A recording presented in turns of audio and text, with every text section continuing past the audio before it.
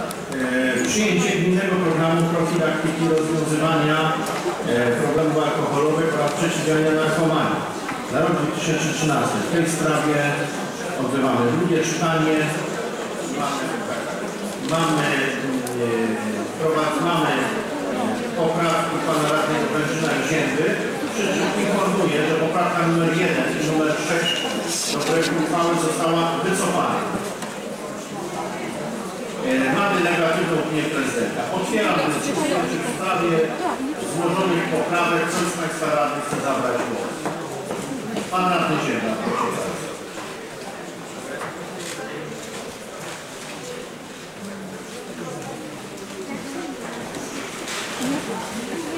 Przewodniczący, Pani Sekretarzu, najwyższy funkcjonariusz, Szanowni Państwo. E, Proszę Państwa, tak mi się wydawało, że te pieniążki sportowego, który jest e, około 18 milionów, to takie pieniądze trochę wstydliwe, trochę e, takie chciane, e, a to są e, pieniądze, jak to Pan Prezydent był uprzejmy powiedzieć, e, ściśle znaczone, bardzo ściśle znaczone. I bardzo dobrze, że to Pan podkreślił, bo te pieniążki mają być na pomoc, na skutki e, tego, że wydajemy e, koncesje na alkohol, bo alkohol jako spożywka nie jest to samo co bułka, chleb czy szynka, e, tylko jest to określony artykuł, który ludzie to nazywają nieumiejętnym spożywaniu e, są skutki, za które potem społeczeństwo płaci, a gmina jako taka też, e, albo może przede wszystkim musi pomagać tym rodzinom i osobom. Mówię to na wstępie po to, aby e, Państwu uświadomić, że one są celowe dla społeczeństwa. E, Jeżeli mamy taką sytuację, że tym rodzinom obligatoryjnie, tym, które e, są e, właśnie no, na skutek alkoholu nadużywanego przez mężczyzn, niestety przez kobiety też ostatnio prawie 50%. E, Potem ta rodzina, dzieci no, odczuwają niedostatek. Znam ten temat, e, choćby zorganizowania kolonii. A pomoc społeczna płaci tym e, e, rodzinom. Jeżeli my te znaczone środki nie skierujemy na pomoc, naprawdę na pomoc tym rodzinom, odciągając niejako w tej części budżet MOPS-u, tylko no jakoś inaczej je zagospodarujemy, a takie mam odczucie, że może ja o czymś nie wiem, to proszę mnie uświadomić, bo o tym, co wiem, wolałbym nie mówić. E, e, bo to nie jest sprawa personalna, to są, to są pieniążki, e, powiedzmy sobie, duże pieniążki. E, I proszę Państwa, ja nie wiem, czy na przykład edukacja no, powinna się odbywać w szkołach w ten sposób, że do terapeutów, które MPCR-u czy inne jednostki, ale może trzeba byłoby się zastanowić, czy nie powinna to być lekcja w szkole e, finansowana w tym kierunku, w ten sposób. Natomiast e, jeżeli chodzi o e, e, to, z czego nie wiemy, bo no, bo budżet został uchwalony, e, poprawkę, co opinia pana prezydenta mówi wyraźnie, że uchwaliliście, prawda, i tak dalej. E, to pan prezydent ale pan prezydent kieruje tym wszystkim. To ja uważam, że nie dowiedzieliśmy się, chociaż wiemy, no, niestety musieliśmy się dowiadywać, e, może nie pokątnie, ale z innych źródeł, na co konkretnie są te pieniążki przeznaczone. Jeżeli między innymi chciałbym, żeby pan dyrektor był uprzejmy powiedzieć, jak jaka jest propozycja podziału tak zwanego korkowego na poszczególne zadania. e, bo tego nie otrzymaliśmy e, e, w programie. Kiedyś bywało taka trochę w tej Radzie jestem, że to korkowe w porozumieniu z Miejską Komisją Przeciwdziałania Alkoholizmu pieniądze procentowo Rada Miasta zatwierdzała. Dzisiaj jakby tego nie ma. E, Jeżeli e, na wypoczynek e, letni dzieci, tych dzieci jest 330 tysięcy w stosunku do e, 18 milionów. Jeżeli chciałbym usłyszeć opinię prawną, jak to jest, bo wiem e, skądinąd opinii na przykład Rio, że e, e, e, Wyczerpień nie może być skorkowego e, finansowana i tak dalej. Nie mówiąc już o tych sprawach, które no, wiążą się z tak zwanym nadzorem. Nasze poprawki są bardzo małymi poprawkami, gdyż więcej nie można dzisiaj zrobić. Jeżeli Wydział Spraw Społecznych, który organizuje konkurs grantowy, e, e, dotąd e, był, nadzorował te, te środki. Nic nie stoi na przeszkodzie, żeby nadal to robić. Jeżeli pracownicy, jak to, przepraszam, no, zacna osoba powiedziała, że tam się z długo stworzyła spółdzielnia. Jeżeli są niewiarygodni, to proszę ich usunąć, prawda? Zmienić, bo to niewiarygodni, dyscyplinarnie tak czy owak. A tak nie można e, e, odpowiadać. Chociaż no, czasem się rozmawia tak, a to. Proszę Państwa, e, nic się nie stanie, jeżeli te poprawki przyjmiemy. E, e, myśmy się konsultowali. Będę się odnosił do e, samego pana dyrektora. No myślę, szkoda czasu. Dziękuję bardzo. Dziękuję. Czy ktoś jeszcze z Państwa Rady chce zabrać głos? Pani Radna.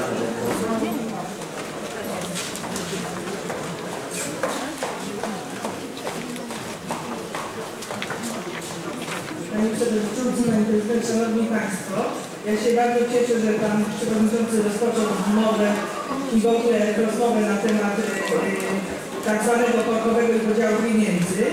Ja przypominam Państwu, bardzo prosiłam o to w momencie, kiedy mówiliśmy, e, rozmawialiśmy o budżecie, że można było te znaczone pieniądze właśnie przeznaczyć na zajęcia profilaktyczne dla dzieci, uzupełniając tym samym budżety Młodzieżowych Domów Kultury.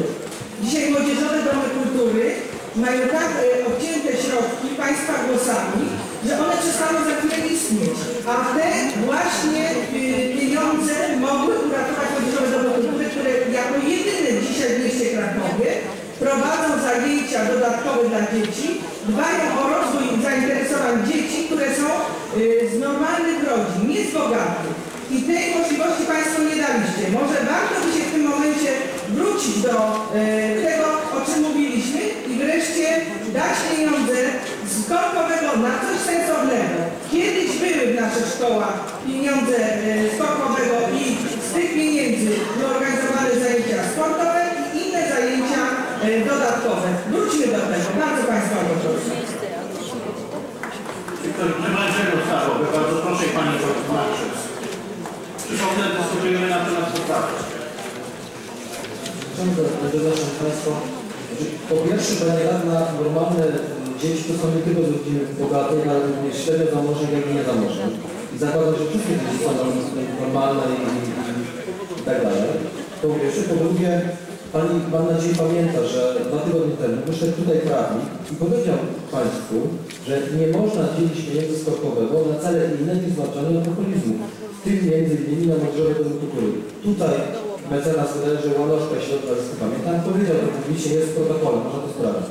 W związku z tym, że nikt nie wyszedł, nie, nanotował tezy prawnika Rady Miasta Krakowa, więc zostało to przyjęte jako opinia prawna. W związku z tym nie może Pani dzisiaj mówić, że sportowemu trzeba przeznaczyć pieniądze na domy kultury i też się na to nie zgodził.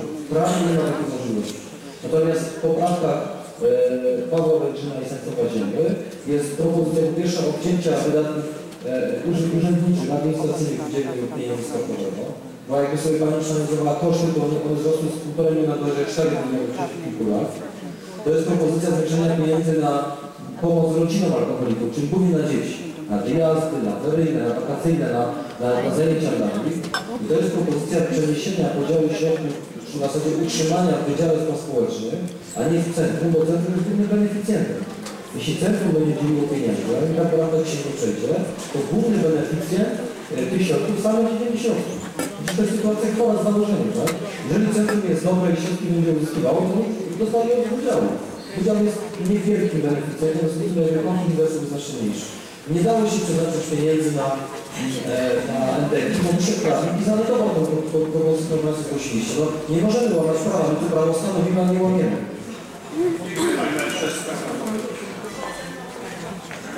Poza tym, jak Pani została zrozumiana? Pani nie została właściwie zrozumiana? No to szczegół wychowanie po Pani Marszewskiej. Szanowny Panie Przewodniczący, Pani Prezydent, Wysoka Rada. Z całego serca popieram propozycję Pana Radnego Ziemi i Pana Radnego Węgrzyna.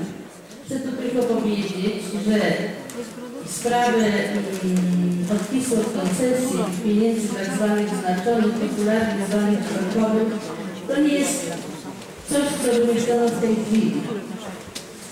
Ze zdumieniem patrzę, że coraz mniej pieniędzy trafia do rodzin i dzieci, które są przez alkoholizm rodziców najbardziej pokrzywdzone. Z Wydziałem Spraw Społecznych lata temu, kiedy jeszcze mieścił się na ulicy Cukaskowicza, organizowałam przez wiele, wiele lat y, kolonie terapeutyczne dla dzieci z tych właśnie rodzin. Wywodziliśmy je na miesiąc z Krakowa w takie miejsca, których w życiu nie zobaczyły, a przy okazji miały możliwość podreperowania zdrowia i, i zjedzenia czterech posiłków dziennie o przyzwoitej porze i przyzwoitym standardzie. Proszę Państwa, pieniędzy na dzieci, na tego typu działalność jest coraz mniej. O ile wiem, chyba kolonii tego typu terapeutycznych się już w ogóle nie prowadzi. A ze zdumieniem obserwuję, że dopóki nazywała się Izba Wytrzeźwień, kosztowała 800 tysięcy. Jak zmieniła nazwę na szacowne centrum, to kosztuje milion. No musimy się nad tym zastanowić, bo nie tędy droga. Alkoholizm jest chorobą społeczną, jest złem dla rodzin dotkniętych tą chorobą.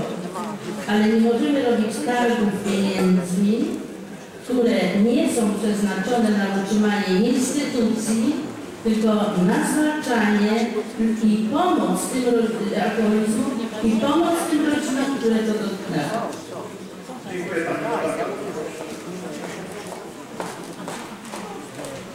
Podobno ten, tak nasi. Ja wiedziałam o tym, że pieniądze są znaczone po opinii Pana prawnika, który tylko i wyłącznie mówił o tym, że pieniądze są znaczone.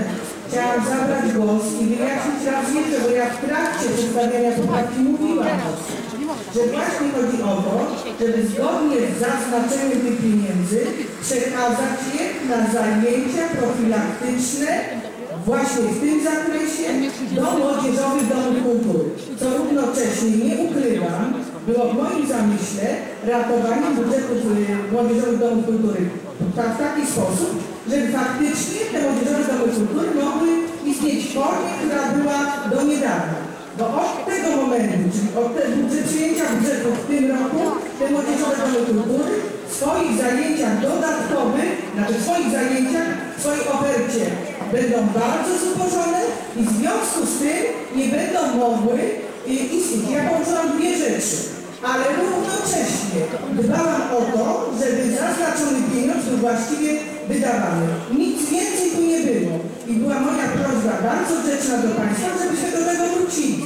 Więc niepotrzebne te wszystkie inne wywody, to jest troska o dzieci. Jeżeli powiedziałam, niewłaściwie użyłam słowa normalne, bardzo przepraszam, to w nerwach. Chodziło mi po prostu o dzieci z rodzin niezamożnych, tych, które nie mają możliwości korzystać z funduszy swoich rodziców i rozwijać dzięki temu swoje zainteresowania. Bo dzieci młodzieżowych domów- domach kultury to są dzieci z przeciętnych rodzin. Tak chciałam powiedzieć.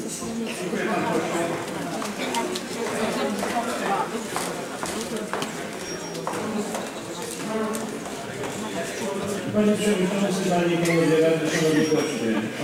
To o dyskusję, bo tutaj imputuje się, że my jesteśmy przeciw. Chciałem powiedzieć, że na wczorajszym posiedzeniu klubu Prawi Prawa i Sprawiedliwości postanowili poprzeć poprawki przewodniczącego Zięby i przewodniczącego yy, no, Także Węgrzyna. Także, proszę Państwa, spokojnie, dziękuję. dziękuję Pan Radny Rafał. Państwo radni, no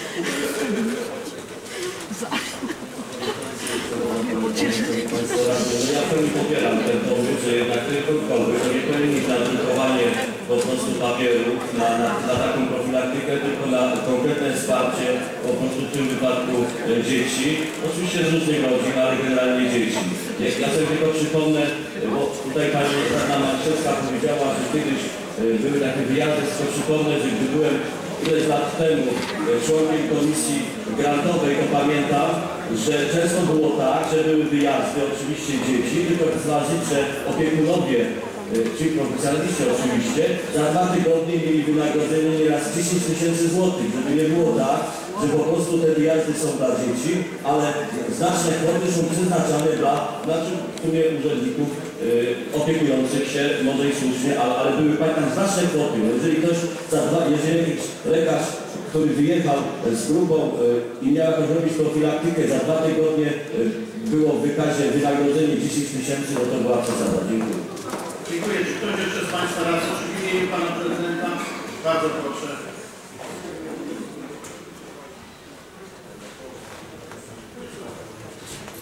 Panie Przewodniczący, Panie Prezydent, Wysoka Rado. Pozwolę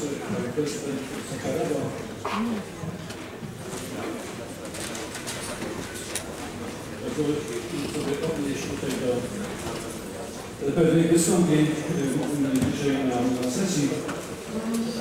Zacznę go od informacji. Y, Pan Przewodniczący Pan Zordzięba mówił tutaj o tej braku informacji tych pieniędzy na środki rynkowe, czy 18 milionów, które Państwo macie wpisane w budżecie. Oczywiście w budżecie ono jest tak szczegółowo, nie ma jakiegoś specjalnego rozdziału.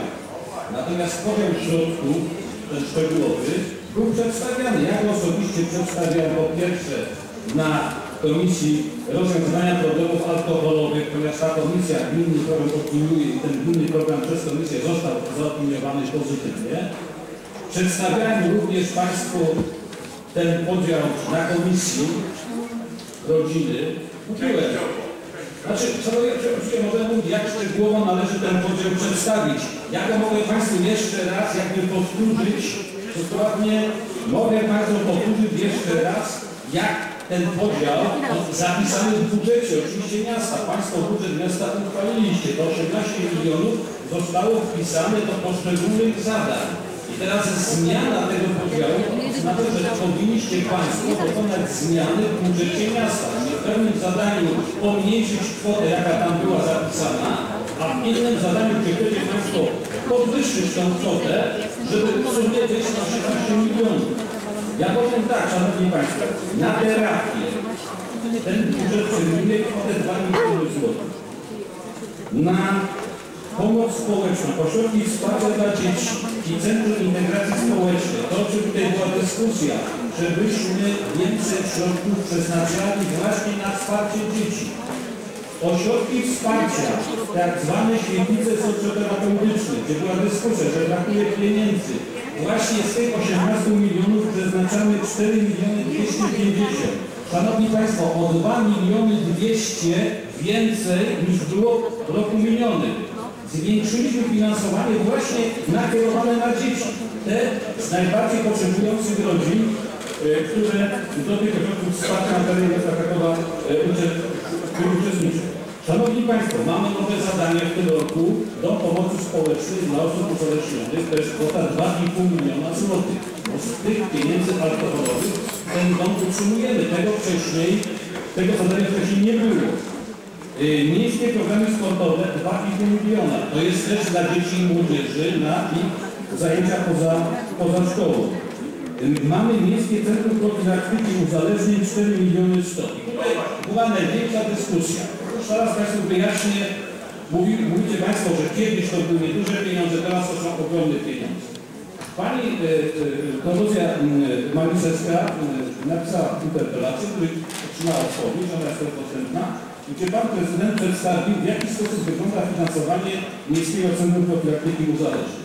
Otóż z tej kwoty 4 miliony 100, 2 miliony 100 to są programy profilaktyczne, które realizuje Miejskie Centrum Profilaktyki, natomiast 2 miliony to jest utrzymanie tej tak zwanej izby wyczeźwień, tej części drugiej.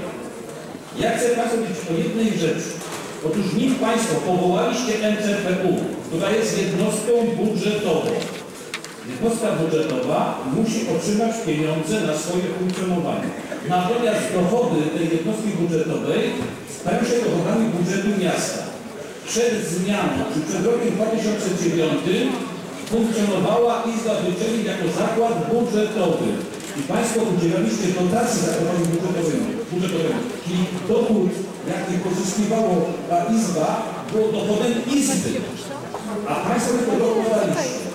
Dochody w ubiegłym roku, jak pamiętam, jeśli chodzi o Izbę Wytrzeźwień, to jest około miliona złotych. Czyli taka, taka kwota wpłynęła do budżetu miasta po stronie dochodów.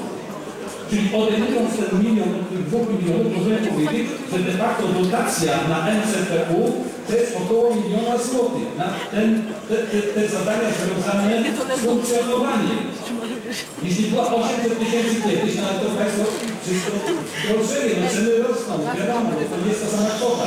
Więc, Szanowni Państwo, nie mówmy, że jest jakieś przeszacowanie kosztu utrzymania NCPU.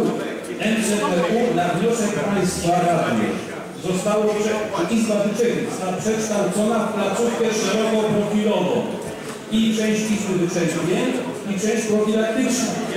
Jeżeli Państwo tej poprawce usuniecie finansowanie NCPU i zostawicie tą część tak zwaną profilaktyczną z programu, to będzie oznaczało, że trzeba będzie w budżecie miasta poszukać 2 milionów środków gminnych, nie alkoholowych, które będzie można na utrzymanie tej, e, tej części działalności Miejskiego Centrum Profilaktyki e, przeznaczyć.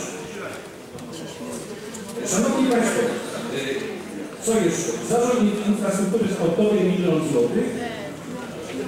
Program Młody Kraków, który jest realizowany już od wielu lat, to jest 300, 330 tysięcy złotych.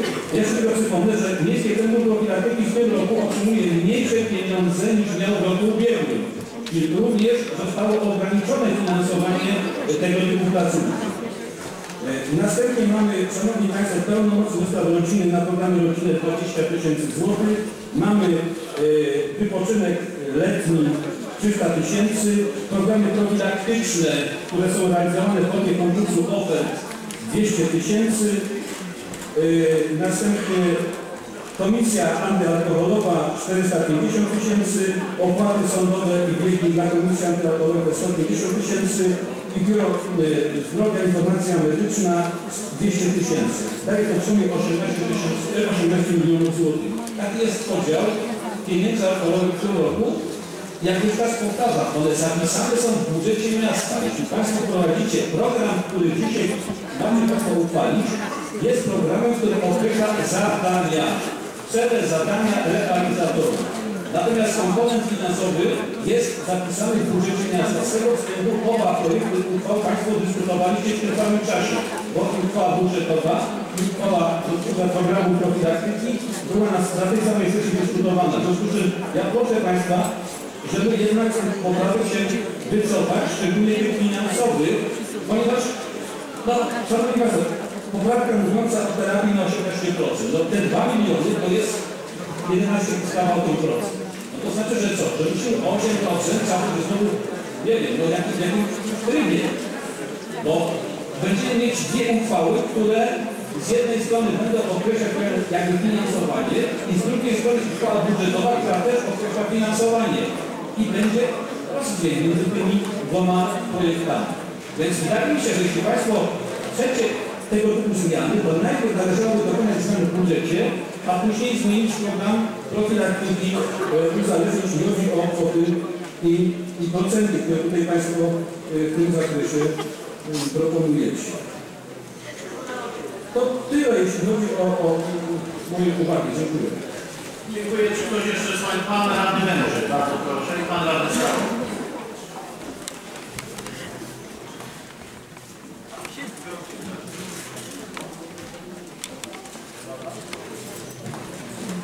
Przewodniczący, Szanowni Państwo Radni. Otóż e, po pierwsze nie mogę zgodzić się e, z takim tutaj rozumowaniem, które przedstawił Pan Dyrektor, że e, program strategiczny to jest tylko lista zadań, a wszystkie komponenty finansowe znajdują się w budżecie i tam są podejmowane decyzje dotyczące finansowania tych zadań. Gdyby przyjąć takie rozumowanie, no to to co w ogóle odpalać taki program strategiczny z planowaniem przecież finansowania, lecz istotą jest finansowanie. Jeżeli nie ma, e, to dopiero określone środki finansowe przydzielone do zadań nadają sens temu programowi strategicznemu. E, Także to jest kwestia techniczna, żeby dbać o to, żeby była spójność pomiędzy dokumentami strategicznymi oraz y, budżetem i wieloletnim y, planem finansowym. Jeżeli przyjmujemy poprawki, które rzeczywiście będą y, miały pewne przełożenie na y, finansowanie y, tych zadań, to będzie to oznaczało tylko tyle, że trzeba wprowadzić poprawki e, do e, budżetu e, związane e, z tymi tutaj zmianami e, programu strategicznego. Także powtarzam, program strategiczny trzeba łącznie e, z finansowaniem, bo inaczej e, nie ma sensu e, planowanie e, strategiczne. To jest prawda program jednoroczny, bo że słowo strategia to jest. E, Druga rzecz, e, kwestia e, finansowania e, Izby Wyczeźwień, czyli poprawka e, numer 4. Otóż no, są dwa orzeczenia Regionalnej Izby Obrachunkowej w Szczecinie i Regionalnej Izby Obrachunkowej w Warszawie, że nie można skokowego e, finansować e, działalności e, Izby Wyczeźwień. E, to po pierwsze. Po drugie, pan dyrektor tutaj mówił, że koszty rosną. E, No tak, koszty rosną, natomiast problem krakowskiej Izby Wyczeźwień to jest e, spadająca ściągalność, która 5 lat temu wynosiła 47%. Wiadomo, że ona nigdy nie jest 100%, to jest zrozumiałe. Natomiast z tych 47% ona spadła do 28%. Wobec tego, no i w mojej opinii, to jest moja opinia, należy wiązać to z tym, że pojawił się mechanizm stopowego, czyli Izba Wyczeźwień straciła motywację, żeby dbać o wysoką ściągalność. Dlatego jest to kolejny argument za tym, żeby nie finansować Izby Wyczeźwień e, stopowego. I wreszcie Pan dyrektor też się odnosił do e, poprawki numer 3, czyli zapisanie e, minimalnego poziomu, żeby przynajmniej 13% e, wpływu skokowego wydawać na leczenie i e, e, profilaktykę. No, otóż to jest jedna z najważniejszych rzeczy. E, Jeszcze 5 lat temu wydawano więcej niż 18%, bo to było ponad 19%. Natomiast od lat wydatki na terapię spadają, co jest niezrozumiałe jakby też sprzeczne z istotą e, pozyskiwania kontrolnego i. Są to pieniądze e, zbierane po to, żeby e, prawda, e, przeciwdziałać i leczyć osoby, które popadają w uzależnienie. Dlatego celem tej poprawki jest przywrócenie właściwego poziomu finansowania terapii. Dziękuję. Czy w tej sprawie ktoś jeszcze zechce zabrać głos? Stwierdzam odbycie drugiego czytania. Mamy do przegłosowania po wysłuchaniu pierwszej i szóstej poprawki. Mamy do przegłosowania poprawkę drugą, trzecią, czwartą i piątą. Bardzo proszę o przygotowanie się do głosowania. Przygotowanie głosowania. Kto z Państwa radnych jest za przyjęciem drugiej poprawki panów radnych i Węgrzyna? Kto jest przeciw, kto się wstrzymał, czy ktoś jeszcze głosuje? Zamykamy, proszę wynik. Jeszcze, tak? Przepraszam. Już zamykamy proszę. 30 za, e, druga poprawka 30 za, 6 przeciw, 0 wstrzymujących, 1 nie biorąca, poprawka została przyjęta. Poprawka numer 3. Kto z Państwa radnych jest za, kto przeciw, kto się wstrzymał, czy ktoś jeszcze głosuje? Zamykamy, proszę. Głosowaliście 28 za, 1 przeciw, 1 wstrzymujący się, dwie osoby nie brały udziału w głosowaniu. Została. Żeby Tak, proszę.